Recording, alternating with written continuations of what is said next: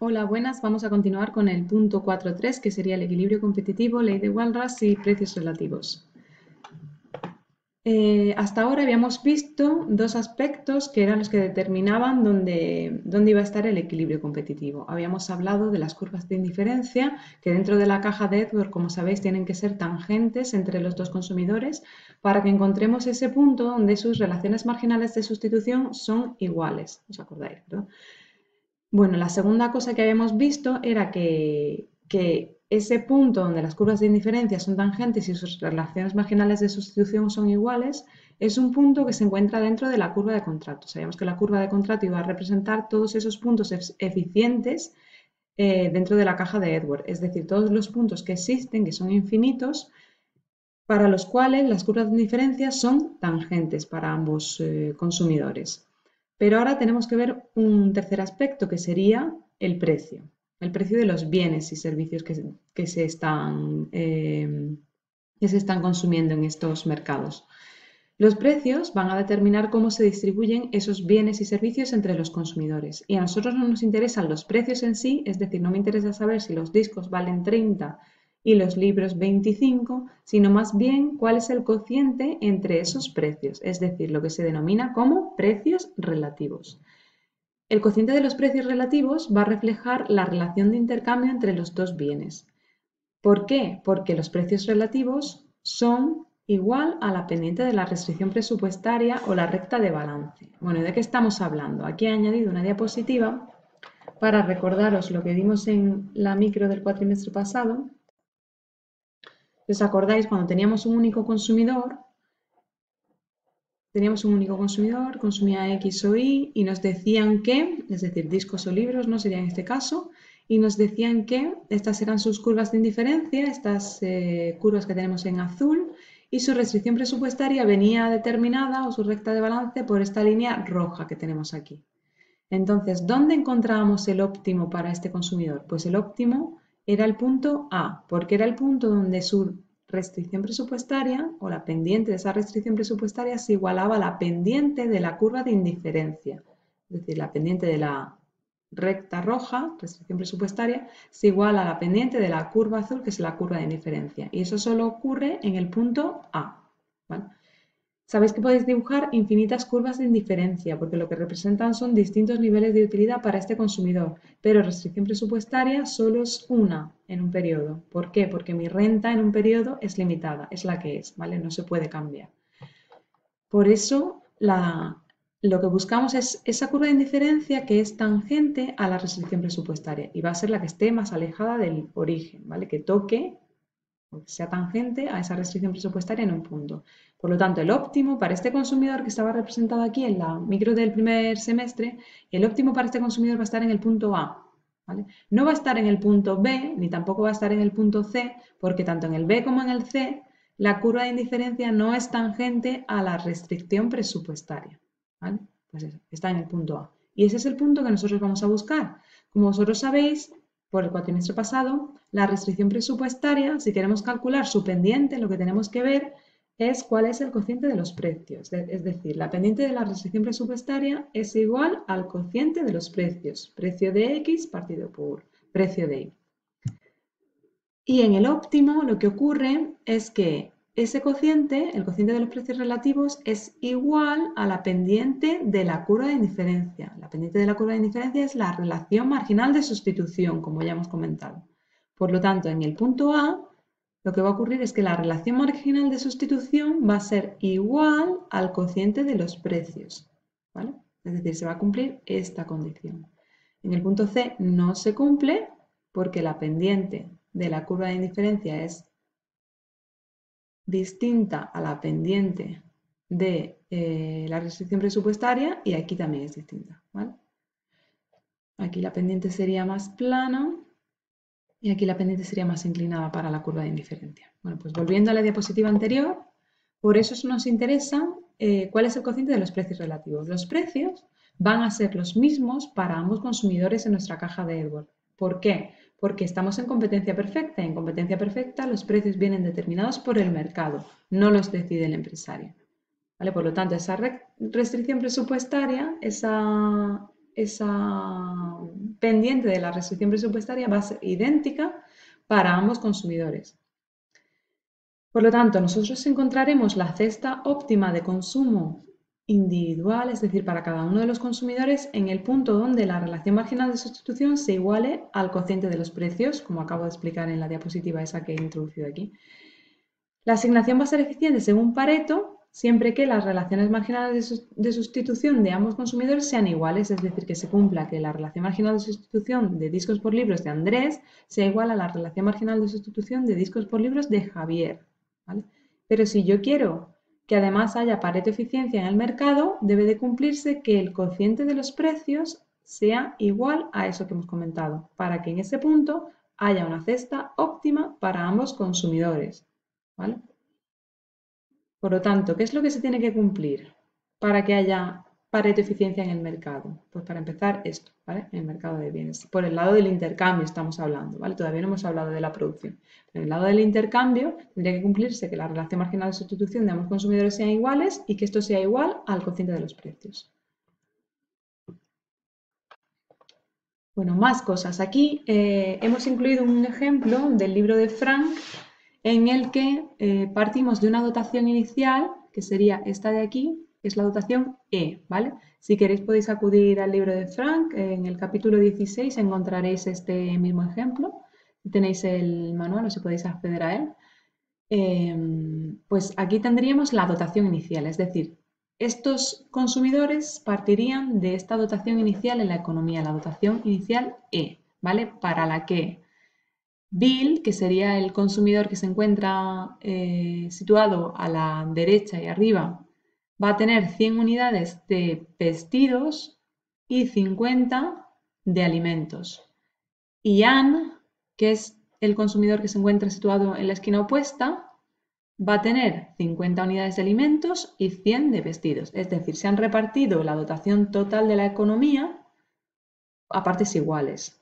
Habría en total en la economía 100 vestidos de Bill más 100 vestidos de Anne, 200 y 50 unidades de alimento más 50, 100 en total de alimentos. Esa sería la dotación total de la economía. Se la han repartido a partes ', según esa dotación inicial. ¿Qué más cosas tenemos? Tenemos aquí una recta. Esta recta, que va desde el punto H hasta el punto H', representa la restricción presupuestaria o lo que es la pendiente de la restricción presupuestaria. Por lo tanto, son los precios relativos. Los precios relativos, tal y como los han dibujado en este ejemplo, serían iguales a 1. Esto quiere decir no que los precios por separado sean 1, sino que su cociente es igual a 1. ¿vale? Es decir, que si el precio de los vestidos es de 2 euros por vestido y el precio de los alimentos es de 2 euros por alimento, el cociente es igual a 1. Si el precio de los vestidos es igual a 1 y el precio de los alimentos es igual a 1, su cociente es igual a 1. ¿vale?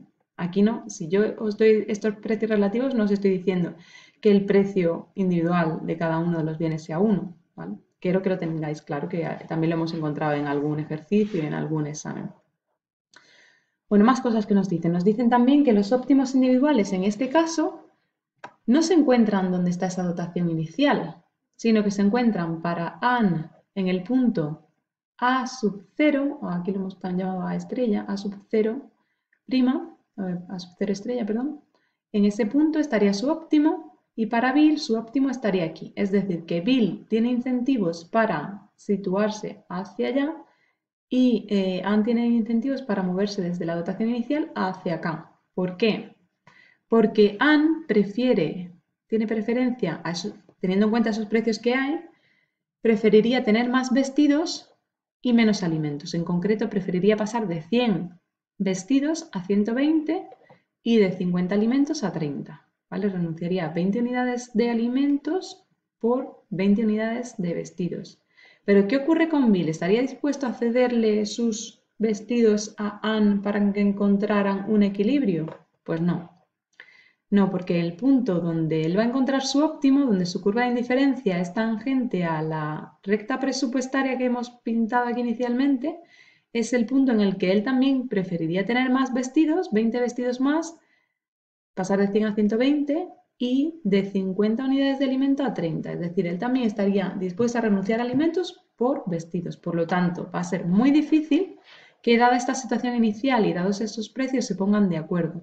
porque ambos prefieren demandar más unidades de vestido y menos unidades de alimento. Es decir, que con estos precios relativos no vamos a poder vaciar los mercados, sino que vamos a tener un exceso de oferta de alimento y un exceso de demanda de vestido, porque ambos van a querer demandar más vestidos y menos alimentos. Vale, esto también lo, para que lo veáis más claro, lo que he hecho ha sido añadir también aquí otra diapositiva en el vídeo. Si os fijáis, eh, en el punto E, que sería la dotación inicial, esta sería la curva de indiferencia de AN que pasaría por ese punto, ¿vale?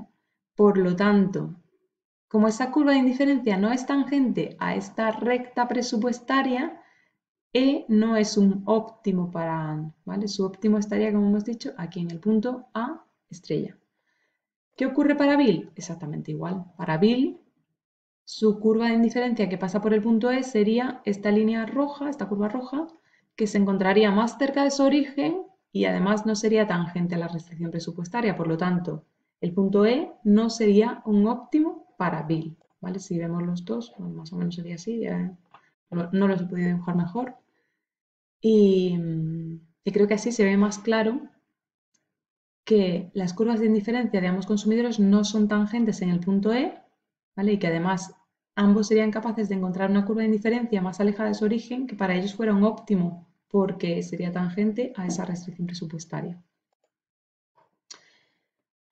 Bueno, por lo tanto, en ese caso, lo que ocurre es que hay un desequilibrio, como hemos dicho, exceso de oferta de eh, alimentos, exceso de demanda de vestidos.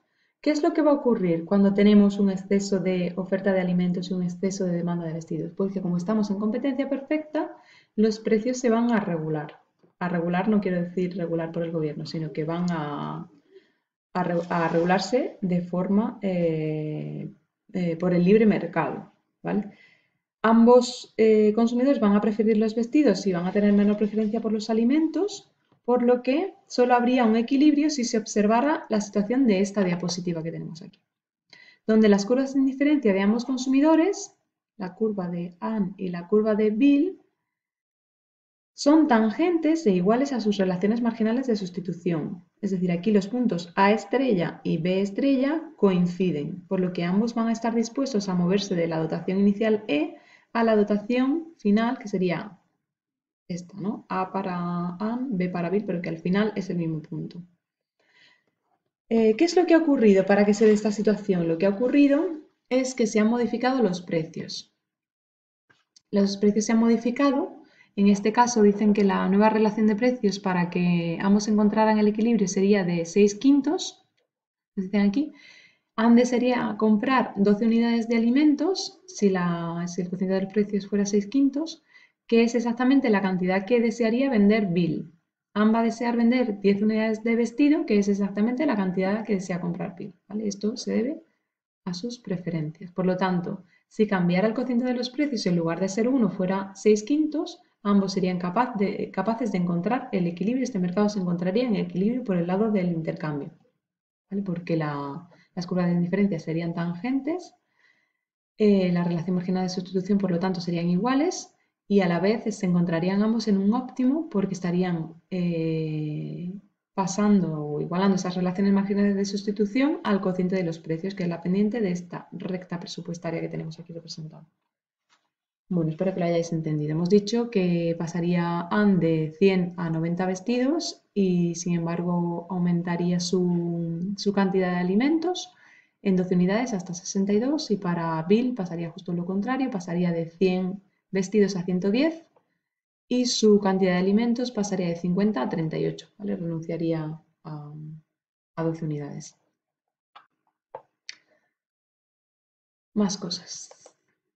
Bueno, pues esto se denomina la ley de Walras y lo que dice la ley de Walras es que siempre va a existir un conjunto de precios que va a vaciar los mercados, es decir, que va a eliminar esos excesos de oferta y de demanda de los distintos bienes y nos va a conducir al equilibrio general. Partiendo de la situación anterior, si elevamos el precio, el cociente de los precios, vamos a alcanzar el equilibrio general, como hemos visto. ¿vale?